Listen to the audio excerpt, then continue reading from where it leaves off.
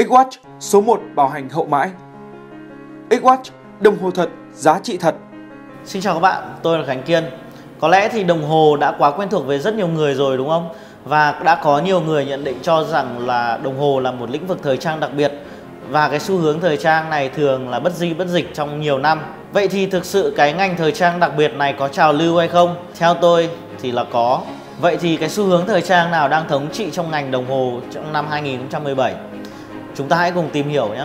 Trước tiên, ta phải kể đến đó là đồng hồ kim xanh. Blue Steel hay còn được gọi là kỹ thuật xanh hóa thép. Đây là kỹ thuật mà giúp cho sắt ở trong thép khi kết hợp với oxy sẽ trở thành một lớp oxit sắt Fe3O4.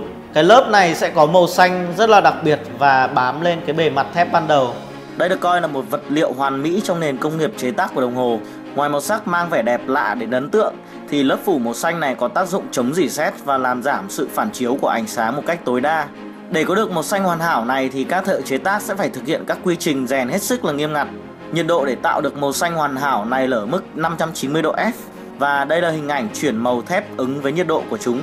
Nhìn chung thì kỹ thuật luyện thép bậc cao này khiến cho những chiếc đồng hồ kim xanh trở nên khá là đắt đỏ. Đối với những chiếc đồng hồ có mức giá phổ thông hơn, đa phần nó sẽ là chiếc đồng hồ kim được nhuộm xanh. Tuy nhiên thì chính cái màu sắc đặc biệt như vậy đã khiến cho đồng hồ kim xanh là nỗi khát khao của rất nhiều người dùng hiện nay, không những ở Việt Nam mà còn trên cả thế giới nữa.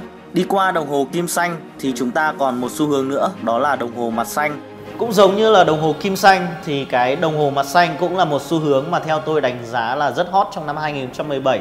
Vậy thì à, màu xanh đậm tại sao lại được lên ngôi trong năm nay?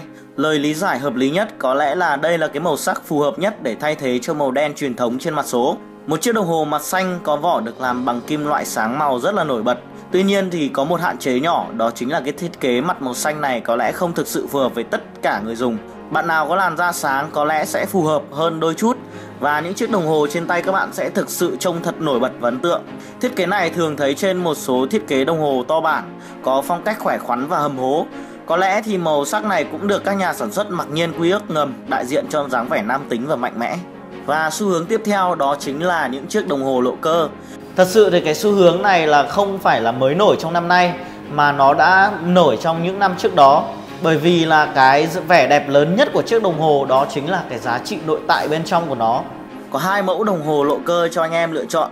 Nếu như phong cách skeleton khoe chọn bộ máy ẩn chứa bên trong, thì các mẫu đồng hồ thiết kế open heart lại nửa kín nửa hở, gây sự phấn khích cho nhiều anh em.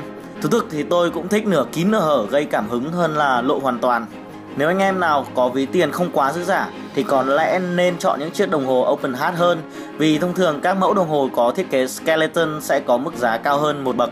Và cuối cùng đó là simple is the best. Cũng giống như là cái xu hướng chung của công nghệ hiện nay thì đồng hồ đang càng ngày càng mỏng dần cả cơ lẫn quát. Có một thời kỳ thì những chiếc đồng hồ to, dày, mạnh mẽ lại được nhiều người ưa chuộng hơn. Cho đến nay thì đã có nhiều người có quan điểm cho rằng là độ mỏng của chiếc đồng hồ tỷ lệ thuận với độ thanh lịch và tinh tế của nó. Và không chỉ là những chiếc đồng hồ quát, mà còn cả những cỗ máy automatic cũng đang thu gọn dần bề dày. Tuy nhiên thì mỏng không đồng nghĩa với mỏng manh, mà đồng hồ vẫn phải đảm bảo chịu được những cái lực tác dụng bên ngoài theo tiêu chuẩn tối thiểu của nhà sản xuất. Một điều thú vị là một chiếc đồng hồ cơ bản mỏng thường có giá không hề rẻ do công đoạn gia công phức tạp cùng với bộ máy được tối ưu đến mức hoàn hảo Thông thường thì các đồng hồ bản mỏng đều mang thiết kế lịch lãm, thậm chí là không ít mẫu mang dáng vẻ hoài cổ. Ngoài ra thì trong thế giới đồng hồ vẫn có những cái nhóm người tồn tại à, những cách chơi khác riêng biệt. Ví dụ như là chơi đồng hồ cổ chẳng hạn. Có lẽ thì cái thú chơi này không phải ai cũng hiểu được và nó không dành cho số đông người dùng. Tuy nhiên thì nó vẫn có một cái sức hút rất là mạnh mẽ đối với một nhóm người cụ thể. Chính vì thế mà cái xu hướng đó sẽ luôn luôn tồn tại và cũng sẽ không bao giờ thay đổi. Và cho dù là một cái xu hướng đồng hồ nào đi chăng nữa, thì tất cả đều có một điểm chung duy nhất, đó là đem lại cái giá trị cốt lõi cho người dùng và tất cả đều đem lại những cái cảm quan mới lạ cho người sử dụng. Các bạn nghĩ sao về cái xu hướng đồng hồ mà tôi đã tổng hợp trong năm nay? Hãy để lại bình luận cho tôi được biết nhé. Còn bây giờ thì tôi xin chào và hẹn gặp lại các bạn. Các bạn đang theo dõi Channel, kênh review đồng hồ số 1 tại Việt Nam. Để cập nhật tất cả những video mới nhất và vô cùng hấp dẫn này của Channel thì hãy nhấn vào nút subscribe.